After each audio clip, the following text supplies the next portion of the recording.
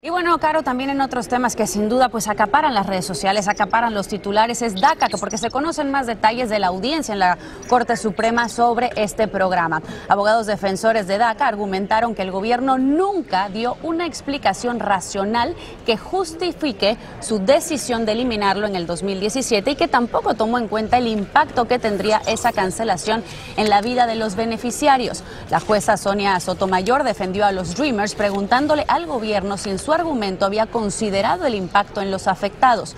Esto no se trata de la ley, sino de nuestra decisión de destruir vidas, dijo Sotomayor.